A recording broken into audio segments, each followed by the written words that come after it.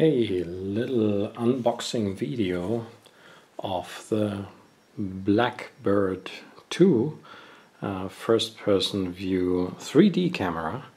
And I just got it today from Russia. So I'm uh, really hot to see what's in here. Um, let's open it up first.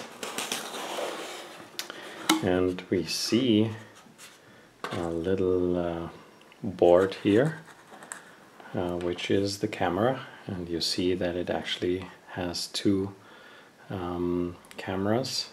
It looks a bit like uh, ultrasound but if you look closer then uh, these are actually lens covers.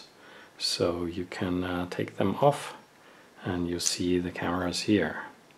So that's pretty cool that um, the guy who's producing these is actually um, providing you with uh, covers. Um, we see a really big chip uh, on the front. Um, we see a connector here. I think it's micro USB. Um, three buttons to set your settings. Um, you can uh, apply the screws here to mount it somewhere. Um, and I don't know actually what these are, maybe for an additional module or something and finally here is a connector. So the connector is uh, probably producing um, consuming power as well as um, uh, generating the signals or transmitting them to be precise.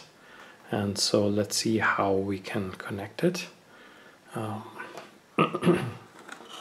here are a couple of cables. And this is one that actually fits it um, with a loose end so I don't know what it's for. Maybe I have to Google or something.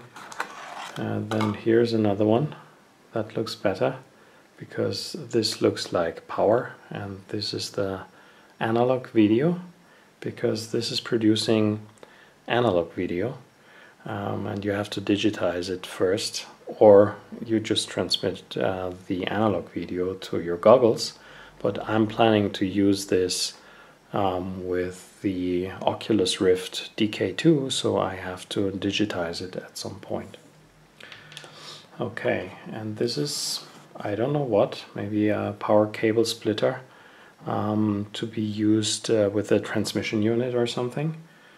Um, so let's see what uh, else we have.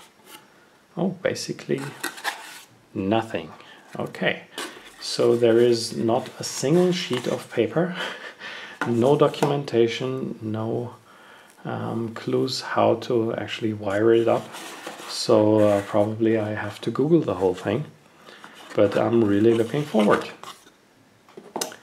Yeah, so that was the unboxing of the Blackbird 2 camera, which I got today.